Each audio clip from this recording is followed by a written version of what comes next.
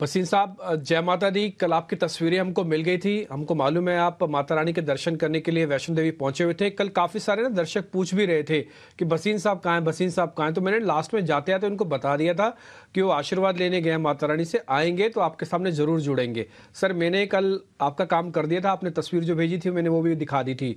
तो सर पहले तो आपके दर्शन कैसे हुए इसके बारे में थोड़ा बताइए और फिर अपने शेयर्स का अपडेट और कुछ नए शेयर्स जो बताने हैं, सर, वो भी बताइएगा। हाँ गुड मॉर्निंग डिम्पी जी। आपको आपको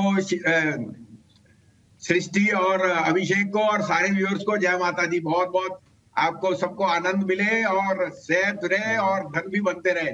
और आपने सही फरमाया हम गए थे कि दिल्ली का मौसम 22 डिग्री है।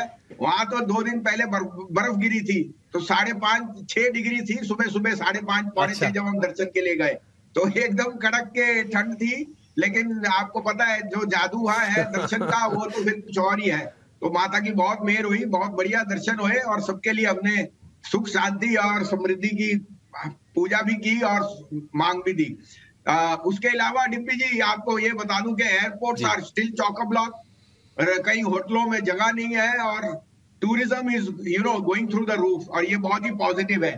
आप कहें तो मैं आपको अपडेट भी दे दूँ और जैसे मैंने आपको कहा थोड़ा मार्केट पे कॉशन रखिए। Second half of March can see more pain beware the ides of March तो थोड़ा यहाँ पे मिड कैश पे अपनी चिंता वो अपना स्टॉक सिलेक्शन रखिए और थोड़ा सा कैश ज़रूर रेस करिए। ये मेरी ब्रॉडर कॉल है on the month of March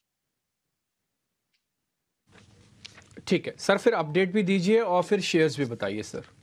तो आपको कुछ दिन से मैं कह रहा था कॉनकॉर और ओएनजीसी लास्ट वीक के बायस है। ओएनजीसी छियासठ पे दिया था। साठ का स्टॉप लॉस दो सौ पिचासी कल वो हिट हो गया।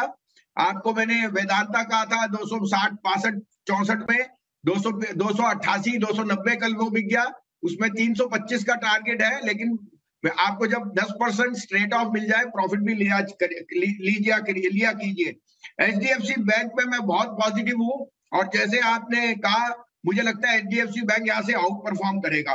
मैंने आपको एच पी बीपी आईओसी तीनों कहे थे, तीनों आउट परफॉर्म है, अपने लेवल से तीन चार परसेंट बढ़ गए। अभी भी मुझे लगता है देर इज़ अपसाइड इन दो स्टॉक्स उनमें बने रहिए।